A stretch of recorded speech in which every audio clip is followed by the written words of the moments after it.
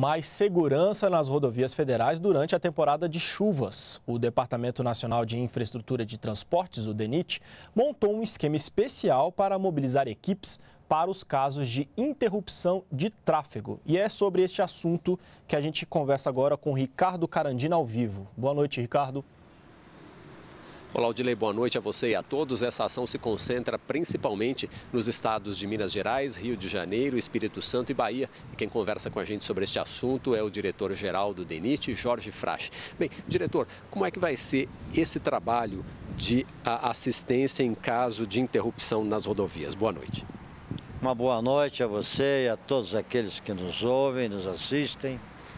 O DENIT, ele montou um sistema de prontidão com as superintendências regionais de Minas Gerais, é o senhor Álvaro, com a superintendência do Espírito Santo, é o senhor Ralph, e com a superintendência do Rio de Janeiro, que é o Celso. Então, é, esses companheiros, e o da Bahia, o Amauri, esses companheiros, engenheiros, tem toda uma equipe de engenheiros de prontidão, nas chamadas unidades locais, que são as áreas de jurisdição das rodovias dentro de cada estado, estão atentos e estão em situação de sobreaviso.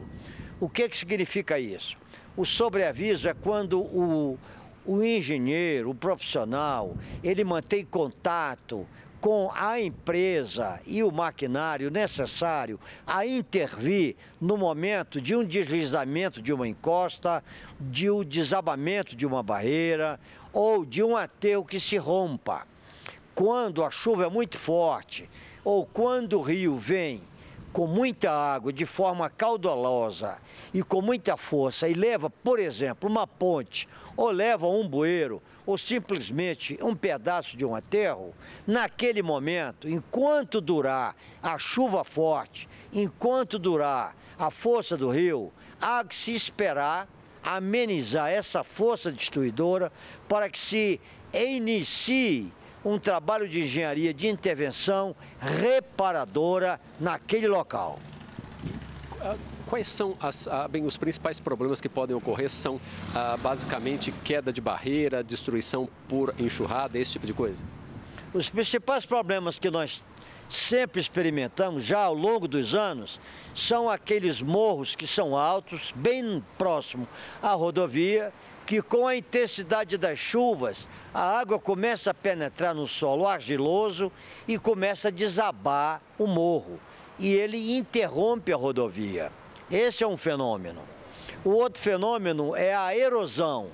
A água da chuva é tão forte que ela come a saia do aterro, vai erodindo o aterro e com isso destrói a pista.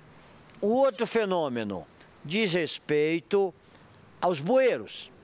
A água é tão forte que o bueiro não se sustenta e ela arranca o bueiro da rodovia. Também agradeço então a Jorge Frache, diretor-geral do DENIT, pela entrevista e outras informações. O motorista, inclusive, que quiser informações sobre o estado das rodovias, o motorista que vai viajar agora neste período de fim de ano e quiser informações sobre o estado das rodovias, pode consultar o site do DENIT. Aldilei. Obrigado, Ricardo, pelas informações ao vivo.